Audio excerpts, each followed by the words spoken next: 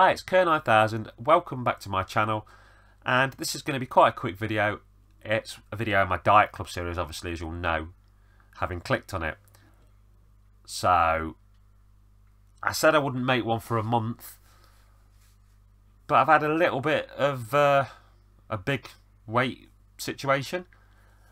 After having not lost for a week or so, I went, despite having had a, like a big Chinese and some celebrations for my birthday and found that in one week I'd lost six pounds. Which is a big bloody loss at my stage. I was thrilled but confused. So I determined that I'd uh, make good with the situation and work really hard for the following week. So what did I do? I stuck to the 1,600 calories every day and I made sure to do 50 sit-ups every day and to make some good choices and have a fair bit of salad and stuff in my calories. So it gets to the end of the week, gets weighed, what's happened?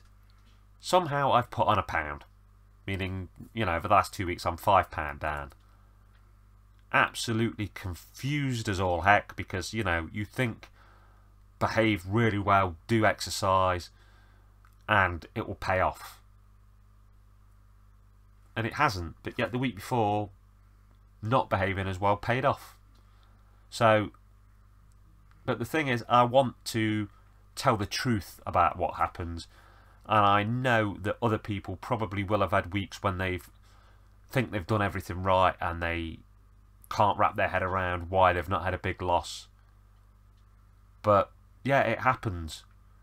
And I think one of the important things is to think about how you're going to deal with that.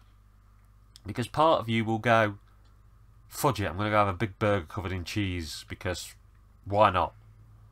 I behaved and what did it get me? But no, I'm not going to do that. I'm going to double down. I'm going to behave this week again. I'm going to keep making sure I do my sit-ups this week again. Um, I don't know. With the fact that I've been hit and miss with my sit-ups some weeks, and then this week, every day I've done 50 minimum. Some I did another 20 or even one day I did another 50 later.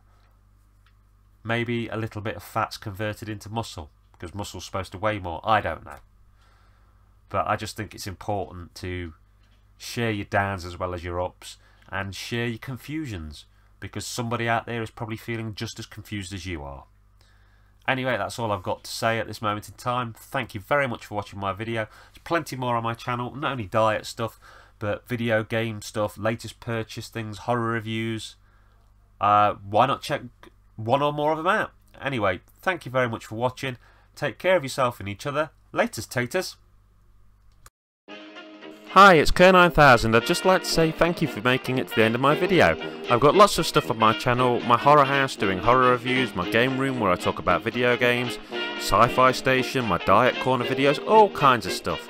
I can also be found on the Retro Gamer U forum and the J Arcade forum, which are both great places full of great people and some great video game conversations.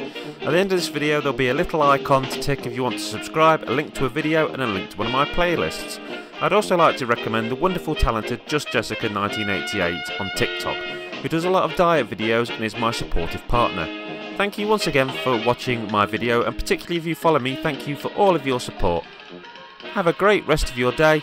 Laters, taters.